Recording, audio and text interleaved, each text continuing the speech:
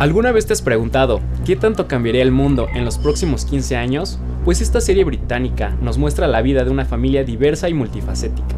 Durante el periodo de 2019 al 2034, en medio de turbulentos cambios políticos, económicos y tecnológicos, dejándonos ver que quizás no estamos muy alejados de esa realidad, la historia comienza con la elección de Vivian Rock, una controvertida figura pública, líder de un partido político, que con el tiempo se convierte en una pesadilla.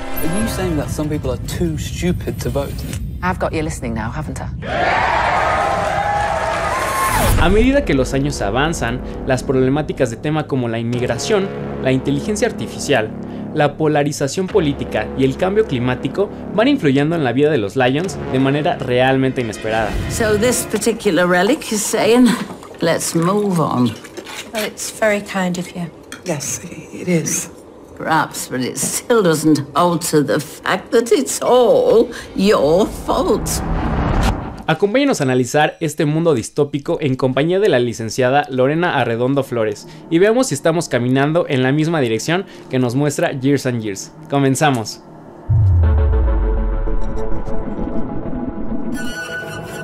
Bienvenidas, bienvenidos a una emisión más de Cultural Derecho. Mi nombre es Diego Guerrero y el día de hoy vamos a hablar de una serie que nos lleva a pensar en el futuro, en muchas cosas que podríamos quizá eh, vislumbrar que son imposibles, pero que nos están llegando. Pensar que incluso en que la realidad está superando a la ficción en muchas cosas y para eso me acompaña mi querida amiga Lorena Redondo, quien es académica de la Facultad de Derecho. Bienvenida, querida Lorena. Muchísimas gracias, Diego. He visto tu programa, soy una de tus followers asiduas y bueno, de verdad ya me urgía venir a, a visitarte y platicar con, con ustedes. Gracias. Tú eres muy activa incluso en el tema de las tecnologías, eres apasionada en todo esto. Y esta serie nos lleva a eso. Years and Years es una que además no es fácil de verla, tenemos que verla en diversas plataformas, muy complicado, pero nos muestra diversos aspectos, que, diversas historias incluso, en donde vemos reflejado mucho de lo que estamos viviendo. ¿Por qué elegiste esta serie? Fíjate que es curioso porque cuando yo la vi, es una producción de HBO y cuando yo la vi fue en el 2019, que también la serie es de 2019. Y la empecé a ver, de hecho me tocó todavía que HBO sacaba las, dos capítulos los viernes y juro que corría a, a ver ya la, la nueva transmisión. A mí me pareció en un principio que era un asunto futurista, una historia que nos hablaba de un futuro cercano. Pero conforme la vas viendo, te vas dando cuenta que es habla de algunos aspectos que en ese momento, en el 2019, para mí me eran extraños y un poco, pues sí, ficticios. La serie habla de un mundo distópico, que es curioso porque eh, significa que es un universo o un mundo indeseable. Pero poco a poco te das cuenta hoy de cómo las cosas que, de las que hablaba la serie fueron sucediendo y ya no, nos alcanzó ese futuro y sí, sí sucedieron. Entonces elegí esta, esta serie porque a pesar de que pasaron, pasó muy poco tiempo, me di cuenta que estamos, nos alcanzó el futuro nos llegaron esas predicciones y en algún momento pensé, o este es el mundo ficticio, este es el mundo distópico indeseable, pero ya estamos aquí. Y eso me pareció increíble, que nos hayan alcanzado. Ahora, los protagonistas son aquellos de la familia Lyon, y cada uno tiene una historia completamente distinta y, y un contexto diferente, pero en lo micro esta familia se vuelve en lo macro. Parecería que son, cada uno refleja diversos aspectos dentro de nuestra sociedad, ¿no? Sí, es como, la familia es como una muestra de, de Gran Bretaña, la historia sucede allá, pero es, podría tener varias lecturas. Pareciera que es una historia local, pero sí se podría representar a nivel occidente y a nivel del planeta. En la historia tenemos cuatro protagonistas, cuatro o cinco protagonistas principales, que son los cuatro hermanos. Dices bien, en algún momento creo que te terminas identificándote con alguno de ellos o con alguna actividad o alguna conducta de alguno de ellos. Tenemos a Edith, que es la, hermana mayor, que es una activista en pro del medio ambiente y de las causas sociales. Después tenemos a Stephen, también otro prototipo que él se encarga o trabaja para, para la banca, para en, las cuestiones financieras, junto con su familia, con una vida holgada, bien adinerada, yo creo que arriba de la clase media en Gran Bretaña. Eh, tenemos la parte de, el siguiente hermano es un chico gay, también con su pareja y viviendo una vida eh, de soltero. Y finalmente, y creo que la una de la, más divertida, no finalmente porque me falta una, Rosy, la hermana menor, que además tiene una discapacidad, y dos niños, de dos hijos de, con padres de diferente nacionalidad. Y finalmente Muriel, que es la abuela y que es mi personaje favorito. Creo que en Muriel el director descansa o nos representa la sabiduría de, la serie y esta parte, entre toda la vorágine de la serie, Muriel es la parte serena, la parte estable. Creo que por eso es mi, mi personaje favorito. Sí, estos figuras que ponen el orden en la, en la familia, que incluso ella la que mantiene la comunicación, ¿no? Esta posibilidad de que constantemente hacen estas llamadas este, en conjunto y que van contando su día a día, ¿no? Sí, eso, e, esas llamadas también son curiosas porque se supone que utilizando la tecnología y el Internet de las cosas, que a veces estamos ya nosotros muy familiarizados y somos muy fans de esta de este internet de las cosas. Tu refrigerador tiene internet, tu eh, bueno, la, llamada la hacen a través de lo que ahora conocemos como, como Alexa. Y es curioso cómo a través de estas reuniones familiares, aún a través de la tecnología, ellos se mantienen unidos, no importa, y creo que así nos pasa en nuestras familias, eh, o en muchas, no importa las características, las actitudes que tú tengas, siempre tienes un lugar a donde llegar, que en este caso es la, casa de la abuela, o estas llamadas donde solo eh, Alexa o Señor, en, en, este caso, conecta solo a la, a la, familia, que son ellos cuatro y la abuela, ¿no? Los cuatro hermanos y la abuela. Hay un personaje Bethany, ¿no? Que es la nieta, la, la bisnieta, ¿no? Vendría siendo que tiene estas ideas metidas en las tecnologías, que quiere modificar incluso su cuerpo, ah, este, que quiere tener esta posibilidad de, que parecería una ficción, pero que ya no la podríamos ver en, el, en los avances tecnológicos simplemente como eso, podríamos verlo como una realidad, ¿no? Y te digo que ya ni siquiera es, un, en ese momento era un futuro cercano, pero ahora ya sí está cada vez, es parte de, nuestra, de nuestro entorno.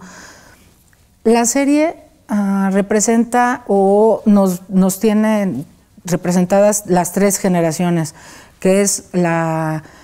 Y, es, creo que coincide con las teorías que, el sociólogo, que también está muy de moda, Sigmund Bauman, nos, de las que nos habla.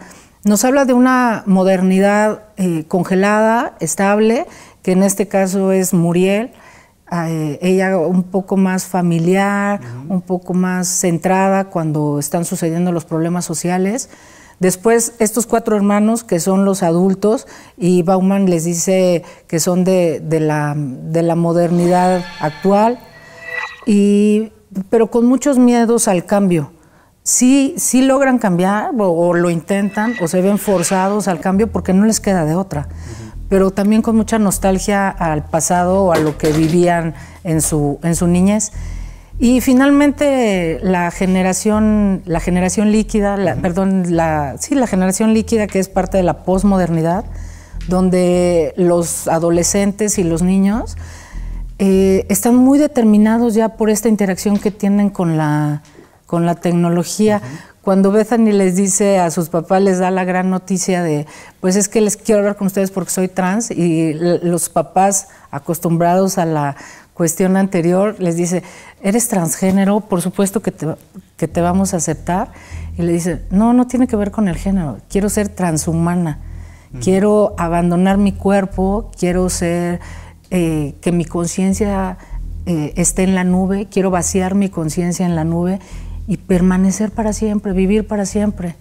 Y entonces mm, creo que es una, una lectura sobre cómo poco a poco, a lo mejor no traemos insertado un chip, pero hemos cedido nuestra libertad a, las nuevas tecnologías, porque estas operaciones que ella se hace para ser mitad, mitad tecnología, mitad digital y, y mitad ser humano, pareciera que, bueno, para ella son muy caras, para la sociedad en la que ella vive son muy caras, y termina haciéndoselas a, a, en, con un costo para el gobierno. Sí, sí, sí. Pero a cambio, ellos tienen, ella ya es propiedad del gobierno. Uh -huh. Y nosotros también hemos cedido esa libertad en, en favor de, de, las tecnologías, de nuestras redes sociales, de cómo regalamos nuestros datos uh -huh. en Internet, ¿no? Vamos a tener que ir a un corte, pero regresamos para seguir platicando esta serie Years and Years que nos muestra diversos aspectos eh, de, que se pueden ver y se pueden vislumbrar dentro de la misma. No se vayan.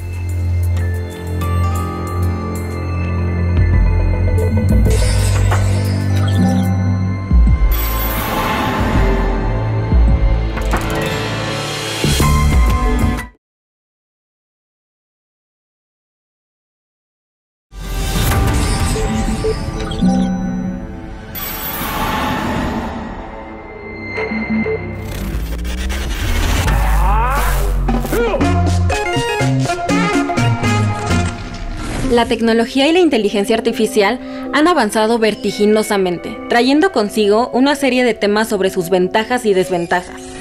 Como ejemplo, tenemos Neuralink, un chip que podría implantarse en el cerebro humano y que según sus fundadores tiene como objetivo a corto plazo crear interfaces cerebro-computadora que puedan tratar distintas enfermedades causadas por desórdenes neurológicos. Pero no creen que pueda limitarse solo a eso, su intención a largo plazo es poder crear una simbiosis con inteligencia artificial, para que así el usuario pueda interactuar a velocidad de banda ancha con otro tipo de software y dispositivos externos. En otras palabras, Neuralink quiere crear chips que puedan aumentar el almacenamiento humano y la potencia de procesamiento. ¿Será el comienzo para crear superhumanos? Si bien todo comienza con buenas intenciones, con el tiempo se verá qué implicaciones puede traer esta tecnología en el desarrollo para la sociedad y los derechos humanos. Pues aunque parece un tema de ciencia ficción, quizá no tarde en ser una realidad que deberemos asumir con responsabilidad.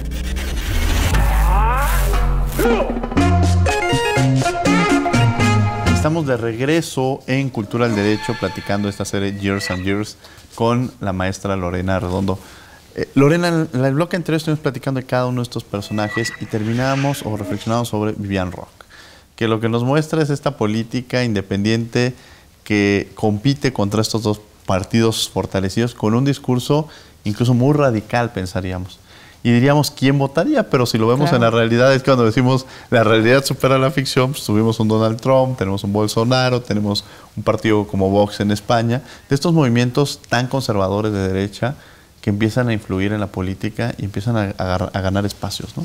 Sí, qué miedo, porque al principio y, eh, Vivian Rock hace ciertas declaraciones que yo dije, nadie las diría, pero sí tenemos, eh, de hecho, la frase que ella hace sobre uh, minimizar el movimiento, el movimiento palestino, uh -huh. ya lo había hecho una diplomática de Francia. Uh -huh. Entonces, a mí me pareció curioso cómo ella, eh, además es muy revolucionaria, es muy radical cuando ella dice, ¿saben qué? Si por mí fuera yo le quitaría la señal de internet a todo, a nuestros adolescentes y a los niños y todos se quedan, ¿cómo, cómo harías eso eh, de no permitirlo? Y me parece curioso que conforme van avanzando los años, ella se vuelve toda más radical, pero también va ganando espacios y, y sí logra que, de hecho, alguien de, de, estos cuatro, de estos cuatro hermanos vote por ella, uh -huh. esté a favor y parece que va, um, pues también enamorando a los otros hermanos para que también voten hasta uh -huh. que termina derrocando a, a, estos dos, a los dos grandes partidos y ella como independiente sube. Yo creo que el discurso de, de Vivian Rock como otros, como otros políticos, esa radicalidad, mmm, creo que votamos por esa radicalidad porque ya hemos probado muchas cosas uh -huh. y creo que la sociedad de Gran Bretaña dice, esto no ha funcionado, esto tampoco, pues vayamos por esta idea que no es una nueva idea, ¿eh? creo que parte de- del discurso de Vivian Rock es que, que ella juega con la nostalgia de, de estos adultos que no entienden bien qué está pasando en la nueva sociedad y añoran lo que ellos sí conocen o el espacio donde ellos se sentían seguros y en razón de ello votan, votan por Vivian Rock hasta no sé, hay dos o tres sobresaltos en la serie. Por ejemplo, cuando nos dice que la reina Isabel murió y yo, oh, sí, sí, obviamente sí, sí lo está reflejando. Sé que era un hecho que, que iba a pasar, pero cuando refleja cómo va a vivir, cómo, cómo va a suceder en, en la serie, o cuando le da eh, el triunfo a Donald Trump para en, en la reelección, Sí. en el 2019 sí era algo que te, que te asustaba un poco, ¿eh? Y bueno, el, el sobresalto de, de la invasión rusa a Ucrania, también creo que es otro tema, yo di- de verdad casi profético. Ahori- Ahorita que me preguntabas por qué elegiste esa serie, me impresionó de cosas que yo decía, cuando vi la serie no van a suceder, a que ahorita ya estamos, pues ya, ya sucedieron. Otro de los temas que, que también en un tema muy radical o en una decisión muy radical, ya que Vivian Ro- Rock tiene el poder, establece estos centros de, de concentración, estos campos de concentración para refugiados, para indigentes, para gente que no cabe en el nuevo orden social que ella plantea o que ella promete. Porque dice, todo va a mejorar, pero e- es como contradictorio. Por una parte está el discurso de ella de todo va a mejorar, pero tú estás viendo que Inglaterra con todas sus islas y eh, como efecto del cambio climático, eh, todas estas islas se inundan termina, hay un efecto de, de lodazal desde el, del prin- desde el principio de la serie hasta el final, y entonces en estos campos de concentración es donde llega la gente o mandan a la gente que ya no cabe en la sociedad nueva que se están, que Vivian Rock te está proponiendo, ¿no? Sí, porque al final nos lleva este individualismo, ¿no? O sea, eh, muchos podrían decir públicamente, yo votaría por una mujer. No, así lo van a decir. Yo estoy a favor de los derechos de la comunidad LGBTIQPA+. Yo estoy a favor de los derechos de los migrantes. Si eso es un discurso público, yo a veces les pregunto a mis alumnos si están a favor de ciertos derechos y todos levantan la mano. Incluso en el tema del aborto puede ser. Quizá levantan todos la mano, yo hago ese cuestionamiento, frente a que todos los demás alumnos lo están haciendo y tienen miedo de ser juzgados. O sea, en lo público. Pero en lo privado yo no estoy tan seguro que si yo les pasara una hojita y me dijeran a favor o en contra, sería el mismo resultado. Claro. Y me parece que eso sucede en las boletas. Uno puede decir qué mal el discurso de Donald Trump, qué mal, pero cuando estás frente a la boleta y nadie te ve, sacas ese Donald Trump que traen dentro, o por poner un, un personaje, ¿no? Este discurso conservador y votar a, a favor de quien está en contra de los derechos de las mujeres, a favor de quien está en contra de los derechos de la comunidad LGBTIQ+. Es decir, sigue permeando de este conservadurismo y este tema individual, porque dicen, si nos están generando estos campos de concentración en pleno siglo XXI, uno podría decir, los queremos disfrazar y decir que es un espacio donde van a estar ellos bien. Pero Claro. siguen siendo campos de concentración Claro. que individualmente lo que estás pensando es que te da, te está garantizando una seguridad frente a un temor social, ¿no? Porque al final es el tema de los migrantes, uno siempre piensa, qué miedo el migrante, ¿no? Claro. Pero nunca se ha demostrado que entre mayor movilidad de migración, que además todos estamos en situación de migración, aumente la delincuencia, por ejemplo, ¿no? Sí, no es garantía, claro. El tema de las tecnologías, Lorena, que es un tema que a ti te apasiona y que vemos mucho en esta, en esta serie. Ya na- nada más para, para Sí. terminar o para cerrar, bueno, para agregar a sumar a ese tema, en los campos de concentración hay un punto donde, eh, bueno, finalmente a quien llevan ahí es a, a Víctor, a nuestro refugiado protagonista, y hay una parte donde él dice, están metiendo un virus, que además es un virus de gripa, por el que sí te mueres y que están eh, provocando o meten a alguien infectado y lo que están buscando es que la gente del mismo campo fallezca pues por cuestiones naturales o más bien por un descuido Claro. ¿no? que ya eso pasó en el 19 y después tenemos la, la pandemia eh, por COVID en el 20. Yo ahora sigo pensando si eh, tenían información, información privilegiada para que, para que eso sucediera. Eso también me, me asustó un poquito. Y bueno, regresando a las cuestiones de la tecnología, um, me parece que nosotros sí estamos mm, muy enamorados, muy sorprendidos por esta, por esta nueva tecnología inmersa en todos los puntos. Hace rato decíamos, ya la tienes en tu refrigerador, ya nadie suelta su celular. Bueno, yo me parece curioso, estuve a, dos, estaba entre traer mis notas en, papel o, traer mi teléfono y decía, pues no, la verdad es que ya ni hojas, no tengo impresora, no tengo hojas, ya no manejo impresiones.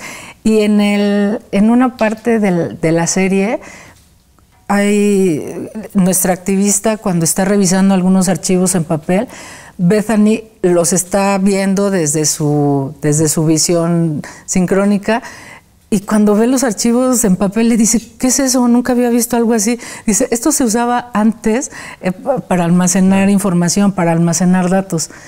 Y, bueno, Bethany, su mayor, su mayor fin es convertirse ella en datos, en información.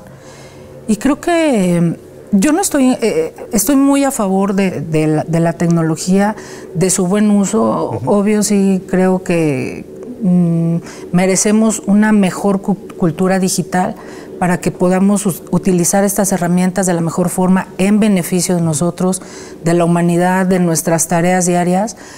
Pero creo que hay una leve línea donde no nos hemos dado cuenta que nos estamos convirtiendo poco a poco en un dato que sí es un peligro, sí, sí deberíamos tener ciertas precauciones porque los datos o la información, eh, los medios de comunicación sí son el cuarto poder, pero la serie es un ejemplo de cómo la tecnología se convirtió en el quinto poder en la humanidad.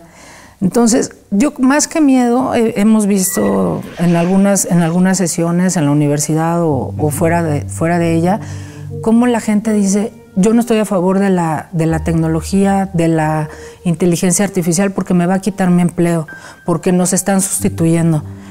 Y yo creo que podríamos desarrollar nuevas habilidades, nuevas capacidades para utilizar esta tecnología en bienestar personal y social sin tenerle miedo. El otro día platicábamos cómo en cierta generación nos decía, es que la televisión es mala, las redes sociales son malas, el Internet es malo, pero en sí misma la tecnología no es mala.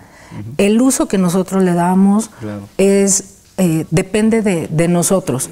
Y creo que, lo que por lo que yo votaría es por un fomento y una mm, difusión de la cultura digital para el buen uso. lo que quiere cerrar Miquel Lorena, desafortunadamente se nos ha terminado el tiempo.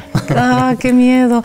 Bueno, eh, sí es cierto que la serie tiene algunos puntos distópicos, pero también es, tiene una, una llamada de esperanza, una llamada a la conciencia, a la reflexión. Me gusta mucho eh, el monólogo que hace Muriel al final, donde nos dice, si bien es cierto que tenemos el mundo o la realidad que, merecemos, que nosotros hemos construido, también nos da el poder de que nosotros hoy nuestra decisión individual y colectiva puede transformar esa, esa realidad en un mejor mundo, ¿no? Lorena, muchas gracias por haber estado con nosotros en esta emisión. Muchas, muchas gracias. Gracias, Diego. Gracias por invitarme. Gracias a todo tu equipo. Les repito, soy fans y fan y ahora mejor follower. Van a ver. muchas gracias, Lorena. Y les agradecemos a ustedes que han estado en una emisión más de Cultura del Derecho. También los invitamos los martes. Estamos en Radio UNAM, en el 96.1 FM, a las 4 de la tarde, abordando diversos temas jurídicos. Pero por lo pronto, que tengan buen día.